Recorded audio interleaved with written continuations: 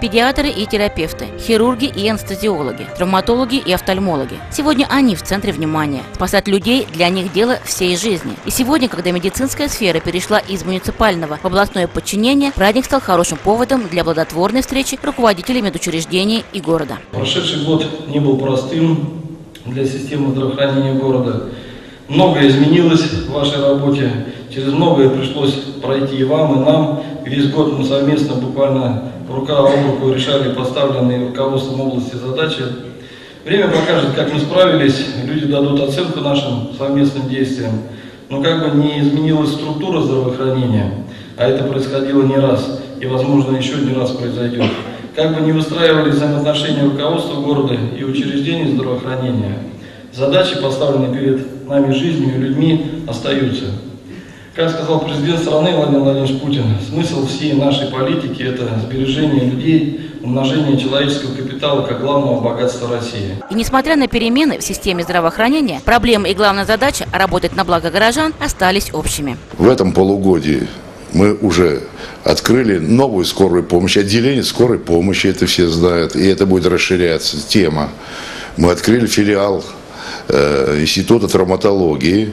Это даст возможность молодым специалистам заниматься наукой и Каждый день улучшается качество лечения. На торжественном приеме медицинским работникам вручили почетные грамоты, благодарственные письма и нагрудные знаки. Также объявили итоги регионального конкурса «Лучший врач года». За победу боролись 64 врача разных специальностей. Диплом первой степени в номинации «Лучший акушер-гинеколог» завоевала Наталья Вячеславовна Яковлева, заведующая отделением гинекологии областного клинического центра охраны здоровья шахтеров. В 2016-м доктор Яковлева заняла и третье место на всероссийском конкурсе врачей. Стать доктором Наталья решила еще в детстве. Какой-то степени воплотив в жизнь мечту отца, профессионального военного. Я хотела, чтобы заниматься оперативной деятельностью, а хирург это больше мужское дело.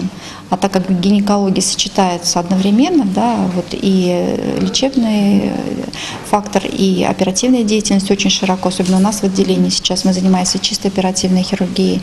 Вот, я поэтому выбрала акушерство с гинекологией. С момента открытия отделения она внедряет в его работу самые передовые технологии. Наработана богатая медицинская база. Это и высокоточное оборудование, и высококлассные специалисты. Здесь берутся за самых сложных пациенток. А на протяжении последних шести лет врачи отделения проводят высокотехнологичные операции, в том числе и по квотам. Стараемся проводить все оперативные вмешательства малоинвазивным доступом, с эндоскопическим доступом, вот, и сохранить орган, чтобы в дальнейшем женщина могла свою репродуктивную функцию проявить. Вот, поэтому ну, это основной принцип нашего отделения, органы, сохраняющий подход и малоинвазивные методы лечения. После таких операций очень многие пациентки становятся мамами. В течение уже 20 лет мы занимаемся лечением бесплодия.